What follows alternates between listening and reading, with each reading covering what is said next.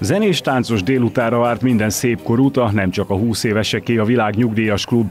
A Teréz napjához kapcsolódó program mindig nagy népszerűségnek örvend, a cél most sem volt más, mint a hagyományok ápolása. A születnek a hagyományát próbáljuk mi feleleveníteni egy kicsit.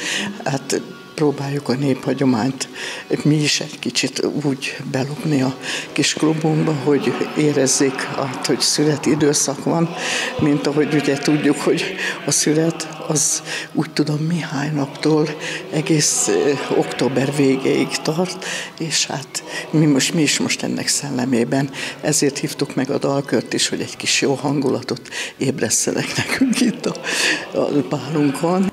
A Nyugdíjas Klub ez alkalommal a Székesfehérvári Közösségi és Kulturális Központtal közösen szervezte meg eseményét, így nem csak a tagokat, a környékbelieket is szívesen fogadták, akik szerettek volna eltölteni egy fergeteges hangulatú estét. Nagyon jó az együttműködés, nagyon nagy lelkes csapat, és a vezetőjük Mária nagyon nagy lendülettel szervezi a programokat.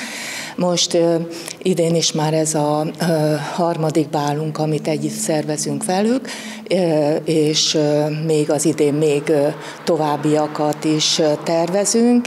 Szeretnénk felemelíteni a Zsukti Pro hagyományait is, és a jövő évben is folytatni ezeket. Nagyon aktív a csapat, nagyon jól tudunk együttműködni.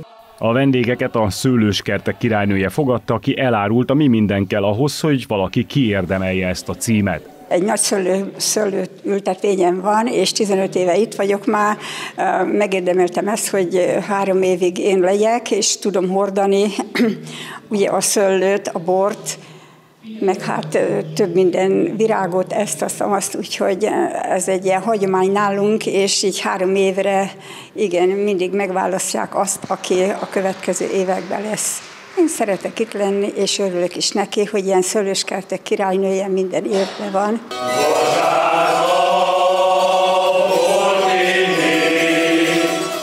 A program a Nagy Lóki Baka dalkör fellépésével kezdődött a Felsővárosi Közösségi Házban, ezt követően a bálban Kovács Misi zenéjére mulathatott a közönség.